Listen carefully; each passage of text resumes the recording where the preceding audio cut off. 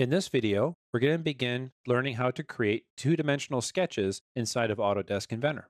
A two-dimensional sketch is the baseline for us to help us create our features to help us develop our parts.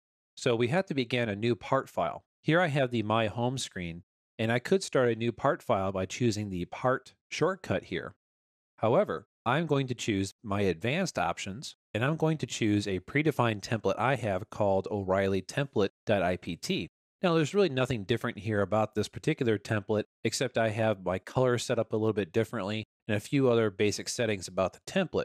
However, if you're going to do this, you can do this from essentially the standard template, which would be under English or metric, depending on what you would like to choose.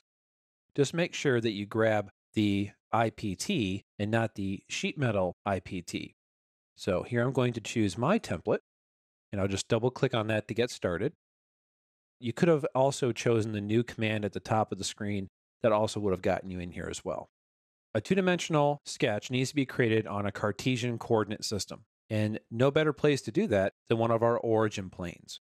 So let's expand the origin, and here I can see the YZ plane, the XZ plane, and the XY plane. Now I'm looking at the XY plane straight on, so I'm not seeing the XZ or the YZ. If I go up here and click on the Home button on my view cube, it does turn my model in an isometric fashion, and I can tell that because my triad in the lower left updated to show that. Now, if I hover on the YZ, I get a better understanding of what those look like. So there's the YZ, the XZ, and the XY, as well as the X, Y, and Z axes and the center point. Now, you could turn on the visibility of these planes simply by selecting them or shift selecting them, right clicking and choosing visibility. Then they stay turned on. And when you hover on them, they will highlight with what name they are. Now, the selection of a proper origin plane is very crucial to design. If you have a very stable originating feature, in this case an origin plane that doesn't change, and you build intelligently around it, your part will always update in an expected manner. If you deviate from that course and you update in a unexpected manner, it's probably because you didn't choose a stable enough base feature reference or stable enough origin reference to warrant the changes that you're doing. A lot of new users to Autodesk Inventor who don't understand this concept will create a house of cards scenario where they update one model, but they did the design of that model so poorly and they carried that poor design throughout their entire project that it causes multiple things to fail, such as other parts or assembly constraints, and to lose drawing dimensions on your drawing files. So it's really crucial that you use the origin planes effectively. So I'm going to turn off the visibility of these for right now. And what I would like to do is just kind of get into a brand new sketch. So I can do that a couple different ways. I can right click on the screen and choose New Sketch. What that will do is present me with all the visible planes that I can select on. So here I can pick on the XY plane, I can pick on the XZ plane, or on the YZ plane.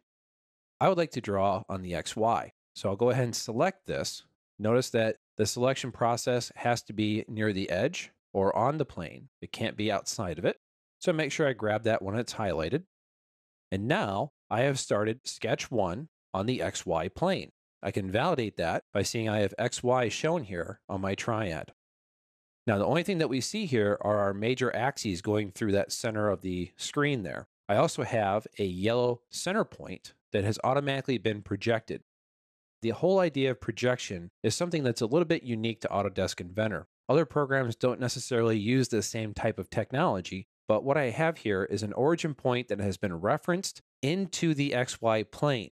The idea of a projected reference allows me to dimension to it and to constrain relationships to it. If I did not have this point, I would be in some serious trouble. So, for instance, how about I highlight this with a window and then hit my delete key? Now that point is gone. How do I get it back? Well, I can go up here to my project geometry command and then click on center point. Right click and choose OK, and it has been re-projected. Now, what if I would like to use the Y axis or the X axis as well? If I choose project geometry, I can simply click on the X axis to project it. Now it is usable for things like lines and circles and rectangles, whatever. If I simply turn on the visibility, like I had done previously, it looks the same, but it is not projected in. It's not referenced in. So when I get close to it, you can see a difference here, how it shows those two dots on the end. Over here, it doesn't show that. Watch what happens if I try to start a line command by right clicking and choosing create line. You can see it does not try to connect to this yellow line whatsoever. However, it will try to connect onto this line. So there I can actually connect onto that for referencing. Let me hit escape to get out of the line command there. So if you want to use it, make sure you project it. Right click and choose OK to finish the command. You don't necessarily have to project X and Y axes or the Z axes, whatever you're trying to project. You could just get away with projecting the origin plane. I would say about 80 to 90% of the sketches that you're going to create inside of Inventor will only really need to utilize the origin point, especially if you're drawing effectively, if you're creating that sketch in a very efficient manner. Now, once a sketch has been created, we would put things in here like circles and lines and rectangles and such to help us create our features. Once we need to get out of this environment, we can right click and choose Finish Sketch, as you see down below. Now, this environment that I am in is the different sub environment of the part mode. It's known as the sketch environment. You can tell it's a separate sub environment because at the top of the screen, right next to 3D model, I see a green tab called Sketch that has a separate set of commands that only are utilized here. If I finish this two dimensional sketch, you can see that tab kind of goes away. It's no longer highlighted. If I go over to it, a lot of the commands have been disabled because I'm not inside of that particular environment. Here I'll go back to 3D model.